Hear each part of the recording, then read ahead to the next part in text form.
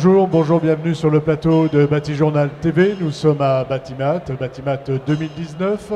Et euh, avec mes invités, on va parler de ce plateau, de ce plateau TV, puisqu'il est le résultat d'un concours.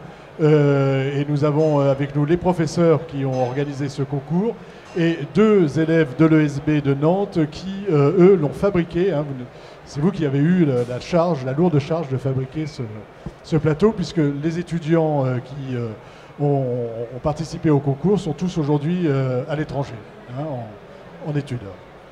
Donc, avec nous pour en parler, Marie-Agnès Revers, bonjour. Bonjour.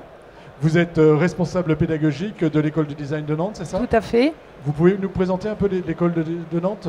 Euh, C'est une école qui forme des étudiants en 5 ans au management du design. Euh, et moi, je m'occupe de la filière scénographie de deuxième et troisième année du cycle bachelor. Voilà, donc ce sont les étudiants qui ont participé. C'est vos étudiants, hein, une partie de vos étudiants qui ont participé. On, va voir après comment on va faire pour l'organisation, comment on a fait pour l'organisation. Euh, Monsieur Philippe Blanchard, vous, euh, vous êtes enseignant-chercheur, bonjour. Bonjour. Et euh, vous êtes à l'ESB hein, de Nantes.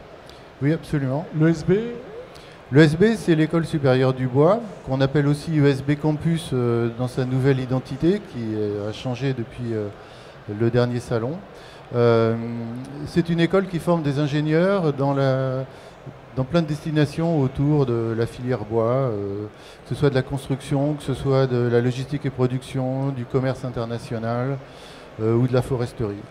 Voilà donc un, vaste champ d'étudiants et d'études. À côté de vous, bah, deux étudiants, Guillaume Morel, bonjour. Bonjour. Vous, vous êtes étudiant à l'ESB, est-ce que vous pouvez nous donner un petit peu votre parcours Alors j'ai fait un BTS développement réalisation bois et... Approchez un petit peu votre Pardon. Et après, j'ai continué en école d'ingénieur et aujourd'hui, je suis en deuxième année. École d'ingénieur aujourd'hui, il vous reste combien de temps encore à faire Un an et demi. Un an et demi. À côté de vous, euh, monsieur François Mazière, bonjour. Oui, bonjour. Euh, vous-même, vous êtes étudiant à l'ESB, et pareil, même question. Quel est votre parcours Alors, euh, je suis issu d'un DUT en qualité logistique industrielle et organisation. Et comme Guillaume, je suis étudiant en deuxième année à l'ESB. Vous êtes dans la même classe? Tout à fait. Voilà, donc dans un an et demi, euh, vous serez euh, bientôt sur le marché du travail. Tout à fait, voilà. Eh ben, écoutez, on va voir avec vous hein, comment on a construit cette table, comment vous avez mis en œuvre, on va dire, euh, la réalisation pensée par d'autres étudiants. Mais avant, je vais vous demander un peu comment c'est organisé. Alors non, avant, je vais dire quel était notre cahier des charges. Donc notre cahier des charges, il est simple, c'est de pouvoir transporter un plateau sur lequel on puisse recevoir au moins six intervenants. Euh, avec un animateur. Il fallait que ce soit transportable facilement dans une camionnette, une petite camionnette. Euh, il fallait que ce soit aussi facilement démontable et évidemment que ce soit beau et que ce soit designé. Euh, donc, comment on a mis ça en place? Comment, comment ça s'est organisé quand vous avez reçu notre demande? Au départ, tout s'est fait sous la houlette de Cécile Touret de My Wooden Life, qui a reçu la demande de, de, Bâti Journal télé et puis qui a pensé immédiatement à, valoriser les compétences de conception et de fabrication de l'école du bois. Et euh, donc elle s'est tournée vers nous et euh, de notre côté, euh, le côté conception attendu, on a préféré s'associer avec l'école de design qui est partenaire depuis presque toujours, depuis 20 ans, pour pouvoir asseoir et la conception avec l'école de design et la fabrication avec l'école du bois. Voilà, conception et fabrication. Donc vous avez monté des équipes, c'est ça? Hmm. Allez-y sur les équipes. Pour moitié, de, deux étudiants de scénographie, plus deux étudiants de, de l'ESB euh, dans chaque équipe. Quatre personnes par équipe. Voilà. Là, on voit euh, sur la photo donc, euh, bah, tous les étudiants qui ont participé, avec ceux de l'école de design et ceux de, l'ESB. Hein. Donc quatre équipes. Quatre équipes, encadrées par un, un intervenant qui s'appelle Romain Brice, euh, qui connaît bien la télévision, puisqu'il travaillait euh, à Canal. Voilà, donc c'est quelqu'un, c'est quelqu'un qui connaît bien la, télévision et les décors de télévision. Voilà, et les contraintes de caméra. les contraintes. Voilà. Euh, ce qui était nouveau pour les étudiants, pour tous les étudiants, j'imagine, c'est-à-dire de travailler avec un cadrage et de scénographier des gens autour d'une table en pensant au cadrage. Voilà, ça pour eux c'était nouveau. C'était important pour vous de, les faire travailler sur ces sujets-là? Oui, euh, très important qu'ils pensent euh, pas que l'objet table, mais vraiment une façon de scénographier les, personnes euh, autour de cette table. Voilà, et c'est c'est Les pour ça. scénographier et les filmer. hein. Voilà. Il y a Ah, eu toute une réflexion sur le fond, c'est-à-dire dire, OK, il y a la table, euh, il y a les projecteurs, il y a les caméras, euh, qu'est-ce qu'on a en image de fond? Donc il y a eu plusieurs projets aussi sur euh, comment, quoi mettre comme type de visuel derrière chaque participant. Chaque participant. Voilà, il y avait la réflexion sur la table, mais vous êtes allé un petit peu plus loin et vous êtes allé de réflexion sur le fond. Qu'est-ce qu'on a eu comme proposition? Est-ce que vous vous souvenez un petit peu des propositions qu'on a eues? Euh, Il y a Il y a- Euh, il y a trois modèles. Voilà, il y a trois modèles. Est-ce que vous pouvez Alors- nous expliquer un petit peu bah, les, les trois modèles Et puis on, on a compris que c'est celui-ci euh, qui a été retenu. Je pense que euh, tous tournaient autour d'une façon euh, de parler de la nature non littérale, de façon non littérale. Donc celle du centre reprend des courbes euh, des branches de la nature. Euh, celle de droite, euh, euh, je pense que c'était un travail dièdre, avec un peu les comme un pieds. dièdre. Oui. Et puis euh, euh, là sur le, le troisième projet, il y en avait plus, mais on voit celui qui a été sélectionné qui reprend l'idée du boomerang. Voilà, Euh, alors voilà. ce- celui-ci, c'est de celui-ci dont on va parler, mais les autres n'ont pas démérité, hein, on est Non, d'accord non, non, non. Ah, le- la décision a été très très très serrée, c'est-à-dire qu'il y a eu euh, deux ou trois équipes qui étaient hyper proches les unes des autres. Celui-ci il a été choisi, euh, on l'appelle le boomerang ou le couteau suisse. Surnommé le couteau suisse, oui. Sur, le, le boomerang Pour son côté suisse. articulable. voilà. Pour le côté articulable. Dans le, euh, donc on, on voit à l'image hein, la, la maquette du projet. Comment est né ce projet dans la tête de vos étudiants? Bah, L'inspiration au départ, c'était de dire euh, le modèle précédent était en forme de triangle. Le triangle en bois, ça pouvait faire penser en l'évident à un boomerang. Et puis il y a eu toute une recherche de- euh, d'inspiration, euh, pas nécessairement que dans le mobilier, sur euh, qu'est-ce qu'il peut y avoir comme mobilier avec cette forme-là. Donc ça, c'était une réflexion un peu formelle. Et après, il y avait une réflexion un petit peu plus euh, opérationnelle ou d'usage, dire euh, bah, si on a un nombre de participants différents, peut-être qu'on peut avoir un meuble qui bouge, ne serait-ce que pour le transporter, il faut le démonter, donc peut-être pas le monter définitivement dans une structure toujours bien fixée, mais avoir euh, possibilité d'ouvrir la lame du couteau suisse. Donc là, vous voyez, la, la lame est assez ouverte, mais elle est un tout petit peu repliée parce que ça me permet de, de bien vous voir. Sur le, sur le choix des matières maintenant, le choix des matériaux, on a du bois, école de- euh, du bois, mais on a aussi euh, du euh, PMMA. c'est- Excusez-moi. Hein, c'est le- C'est du polyméthacrylate de méthyle, c'est du PMMA, c'est PMMA, polyméthacrylate de c'est méthyle. comme le plexiglas si on veut. Voilà, mais on est plutôt sur un produit euh, d'origine recyclable, hein, Oui. produit recyclé. Ah oui, j'ai bien compris. C'est ce qu'on m'a dit. C'est un thermoplastique, donc le thermoplastique, il suffit de le broyer, de le refondre et on refait une nouvelle pièce avec.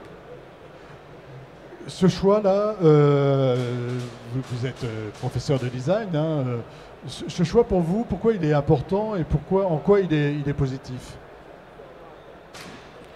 Moi, je trouve que c'était pour, démarquer justement la partie articulable et pour euh, amener de la légèreté, euh, pour qu'il y ait un, contraste de matériaux. Euh, celui-ci venant du sol, de la terre un peu, et celui-ci permettant de s'ouvrir, d'être plus léger, on va dire. Voilà, parce qu'on a aussi cette partie hein, qui est euh, Voilà. en forme de toboggan, je ne sais pas comment dire autrement. Le- on voit les images d'inspiration, c'est plus des, comme des racines ou des choses, effectivement, un geste hein, de Voilà, naturel. c'est un geste Voilà. naturel, on remonte Voilà. et on, re- on- on vient se poser euh, tranquillement sur la table. Voilà. D'accord.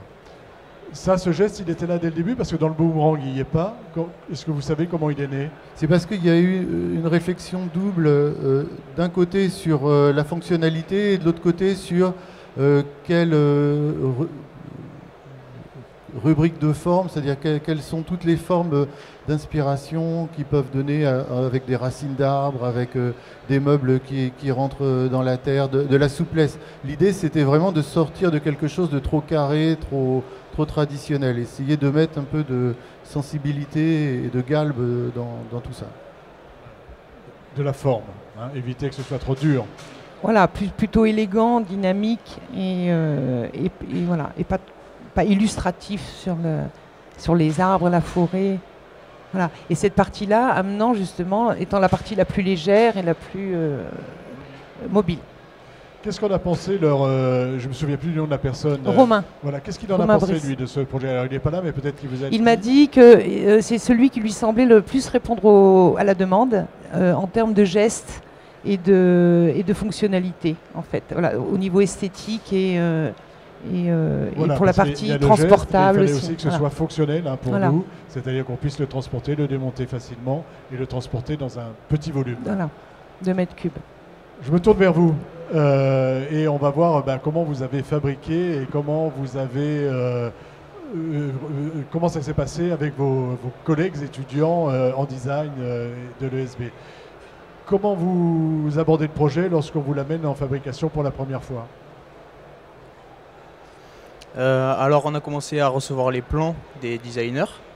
On a dû les retravailler un peu pour, pour que ça puisse euh, être fabriqué. Approchez un petit Ah, peu pardon. Et euh, du coup on a dû les retravailler un peu pour que ça puisse être fabriqué. Et ensuite on les a envoyés à l'atelier et euh, on, on a usiné. euh, Qu'est- Qu'est-ce que vous avez retravaillé par exemple pour, pour la fabrication? Comment on passe du plan à la fabrication? Euh, pour que ce soit réalisable, on a commencé par euh, la partie la plus technique. Et du coup, on a dû retravailler, penser euh, avec le matériau qu'on avait pour, pu- pour pouvoir produire le. pour pouvoir produire ce, ce geste cette un partie peu, complexe, cette voilà, partie c'est qui ça. sort de terre. Le, le- le choix du bois, le choix du plexi, ça vient de vos camarades ou ça vient de vous? Ça vient de, des concepteurs, de- des designers. Ils avaient choisi, voilà, voilà, Donc vous, vous avez le produit brut. Pour nous, c'est important. Il faut que tout ça soit démontable facilement, euh, démontable et remontable. Comment vous avez géré cette contrainte-là? Alors en fait, on s'est euh, servi d'un- système qui s'appelle euh, Clamex. Donc c'est un système de, le- de chez Lamello, qui est un, un verrouillage euh, par clé. Alors on le voit à l'écran là. Voilà, tout à fait. un petit peu comment ça, ça marche. Donc avec une machine, on vient entailler la, la jonction entre les deux pièces. Ça crée, on va dire, un, un demi-rond. Euh, et après, ensuite, on vient insérer euh, la pièce mâle d'un côté et la pièce femelle de l'autre. On réalise un petit perçage et euh, ensuite, avec une clé, on vient verrouiller le- les deux pièces. Donc ça permet de, un positionnement facile et un verrouillage facile des deux pièces. Donc ça, vous le faites pour, le, pour toutes les parties en bois. Et même pour le plexiglas. Et même pour Toutes les pièces qui sont assemblées ici sont assemblées avec des, des Clamex. Vous utilisez ce système-là. Concernant les pieds, euh, comment ça se passe? Vous les recevez tels quels? Et Alors- après vous réfléchissez à la manière de les fixer? Voilà, tout à fait. On a reçu tous nos pieds, sachant qu'il y a un, un décalage entre la partie plexiglas et la partie, euh, la partie bois. On a dû adapter des cales de manière, de manière à, à être euh, de niveau euh, partout, et de manière à ce qu'on n'ait pas à retoucher les pieds, mais juste, juste le bois. Donc ça, c'est quelque chose qu'on a vu avec Guillaume et avec le chef d'atelier, voilà, pour, euh, pour, on va dire, ad- adapter le- le plan initial. Qu'est-ce qui faisait la difficulté sur un projet comme celui-ci? S'il y en a une. Euh, donc c'est un petit peu cette courbe, parce que cette courbe elle est un petit peu on va dire euh, innovante et on n'a pas forcément l'habitude de faire euh, ce genre de pièce à l'atelier.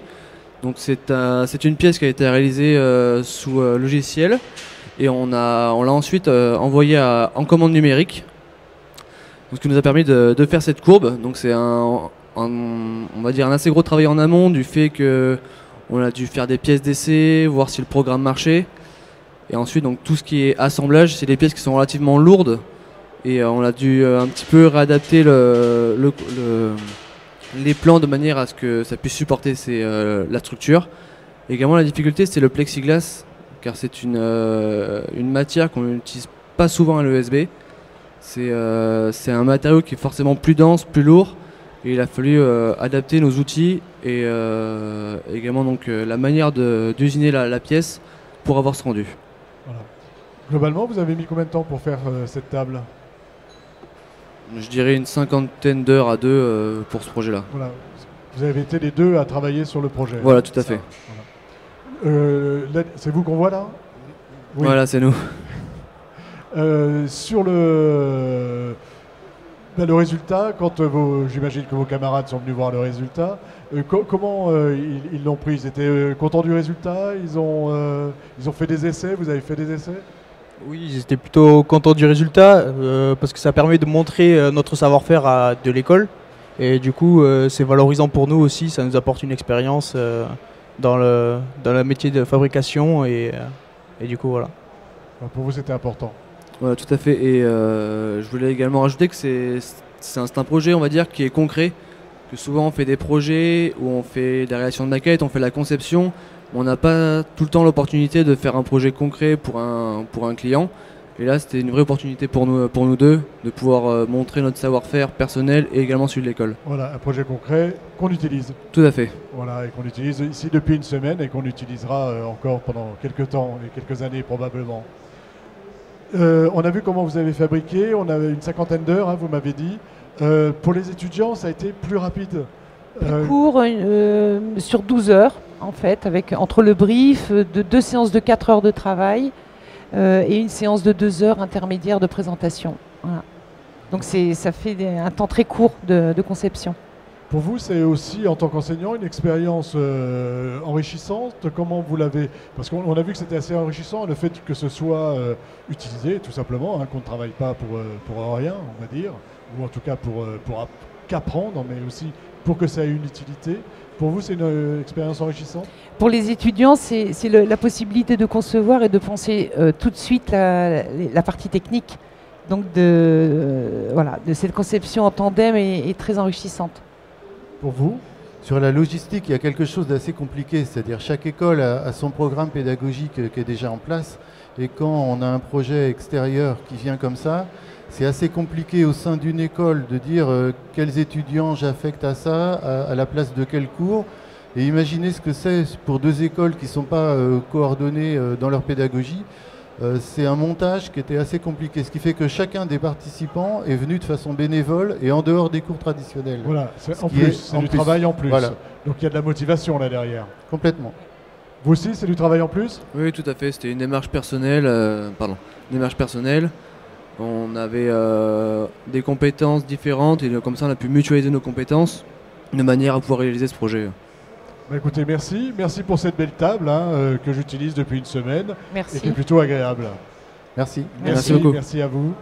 Une émission à retrouver donc euh, sur euh, Bâti Journal euh, TV, comme toutes les émissions que nous tournons ici, et euh, sur le site de notre partenaire France Bois Forêt. Merci à vous. Merci Merci. beaucoup.